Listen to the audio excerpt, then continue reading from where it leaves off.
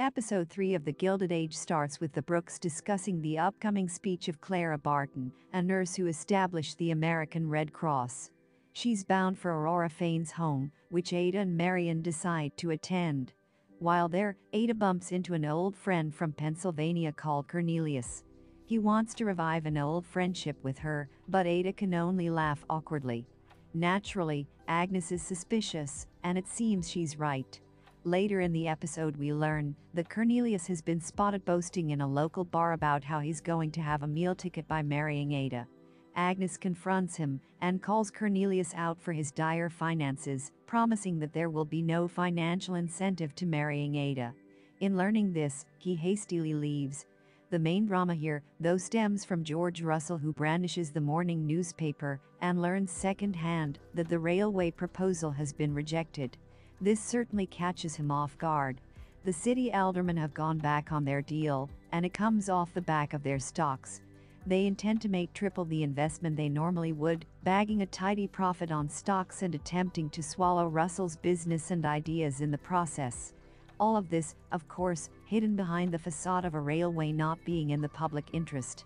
George is livid, calling Mr. Morris a thief and gritting his teeth, promising revenge. Back home, George speaks to Bertha about the risk they're facing. This is a war, and he could lose everything by playing his hand. Bertha stands by his side though, allowing George to risk the estate and trusting that a good deal of money to swing the balance of power back on their side will work. If not, well, they can always build their fortune again. So George immediately buys up every stock that goes on the market. This financial power play immediately worries Morris, who's incredulous that the stock has risen. Nothing has fallen, like he predicted, but soon we learn why he's so invested in this.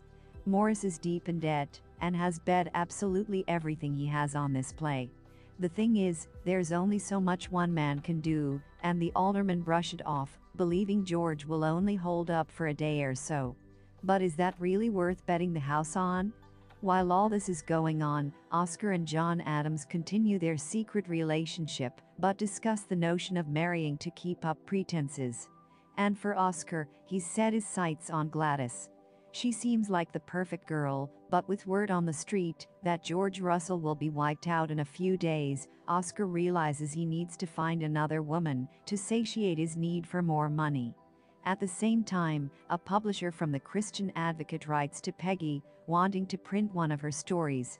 However, that good news is soon quelled when her father shows up and wants to talk. He wants her to come home, given it's her mother's birthday coming up, Peggy reluctantly agrees, but only for one day.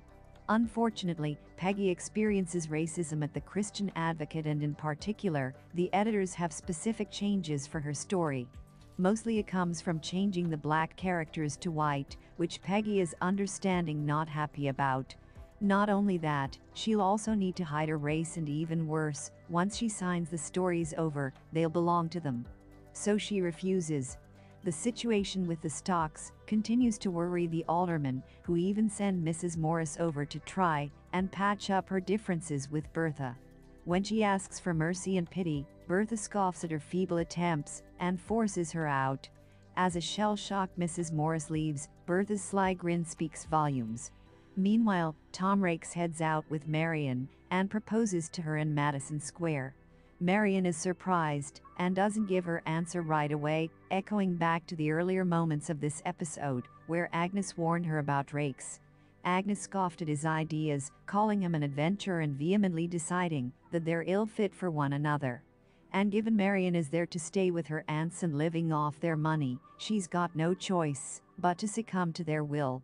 At the office, Mr. Fane, Morris, and the other aldermen all gather together in George's office and beg him for mercy.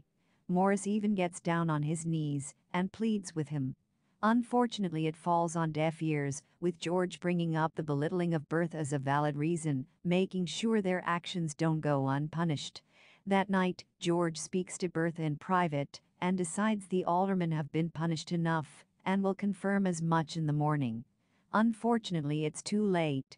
Mr. Morris heads up to his office and commits suicide that very night, shooting himself theory of the Gilded Age returns with several different subplots starting to interweave around the main plotline centering on the George Russell Railway. The alderman here tried to pull a fast one on George, but he's way too smart and cunning for that, managing to get back at them tenfold. This also helps to show just how ruthless he is. However, the death of Mr. Morris could change everything. George is not one to be messed with, but so too is Bertha. After the incident at the charity bazaar last episode, this time around we see her standing by her husband's side and doing whatever she can to make sure the other ladies know they're here to stay and here to fight. The episode does well in that respect and Mr. Morris's death will likely cause ripples across the political and societal spectrum.